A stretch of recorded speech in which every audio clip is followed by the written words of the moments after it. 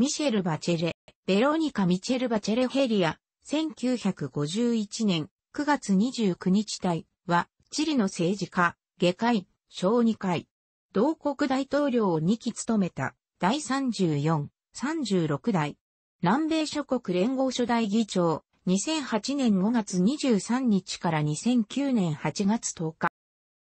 サンティアゴ生まれで、先祖は19世紀半ばにフランスから移民してきた。父親はチリ空軍のアルベルト・バチェレ准将。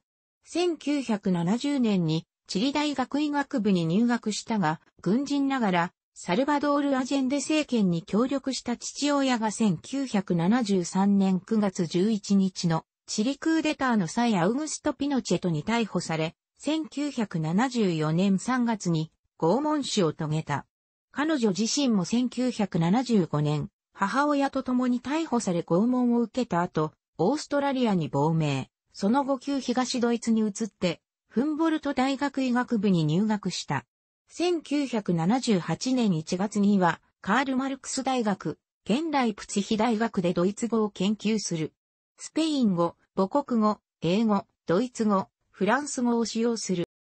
1979年、軍政下のチリに帰国し、チリ大学に復学、反政府活動を再開する。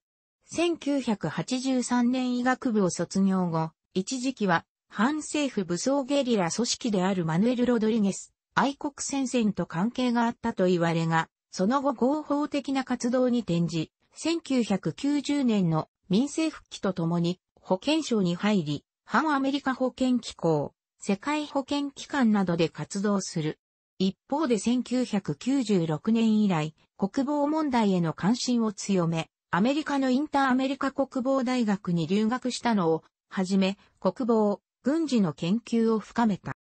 1970年代以来、チリ社会党の党員であり1995年中央委員、リカルド・ラゴス政権の下で2000年から2002年まで厚生大臣、さらに2002年から2004年まで国防大臣を務めた。女性の国防大臣は、チリのみならず、ラテンアメリカ史上初である。しかし2004年9月に大統領選出馬準備のため国防大臣を辞任した。大統領選挙には、コンセルタシオン・デモクラシアから立候補した。2005年12月の第1回目投票で、得票率45%余りで1位となり、2006年1月15日に行われた決選投票で過半数を制し、チリ史上初の女性大統領に当選し、第34代大統領に就任した2010年3月11日までバチェレの大統領就任から1年も経過しない2006年12月10日に、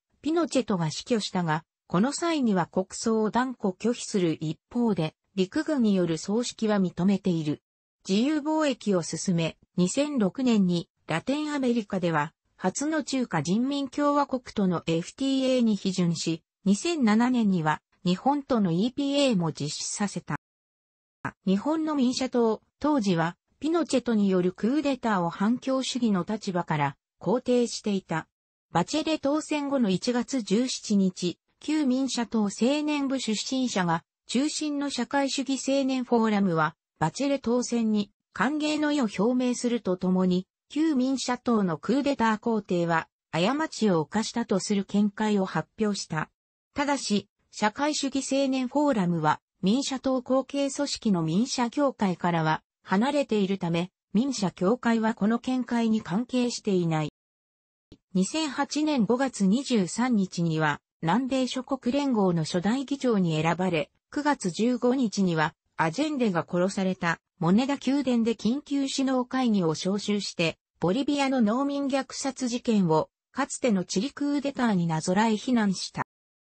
2010年1月17日に実施された大統領選挙では、中道派のセバスティアン・ピニエラ元上院議員が、与党候補のエドアルド・フレール・スタグレ元大統領、在任1994年から2000年を52%対48%の得票率という僅差で破り、チリで20年間続いた中道左派政権はバチェレの代で終わりを迎えた。同年2月27日にはチリ地震が発生し、チリの各地が被災した。バチェレ大統領は被災地への対応に追われる形で人気切れを迎え、被災者の痛みに私は悲しみを持って去る。しかし、私たちが成し遂げてきたことに満足し、胸を張って去るというコメントを残して大統領府を去った。一方、親子二代にわたる軍政の抑圧の経験から、被災地への軍隊の派遣を遅らせたのでは、以下という指摘があり、世論調査でもバチェレ政権による災害支援の遅れに対する不満が目立った。2010年9月14日に、反気分国際連合事務総長より、国連の新組織 UN ウィメンの初代事務局長に任命され、同年9月19日に就任した。2013年3月15日に UN ウィメンからの辞任を発表。同月27日、アメリカよりチリに帰国し、同年11月に行われるチリ大統領選挙への出馬を表明した。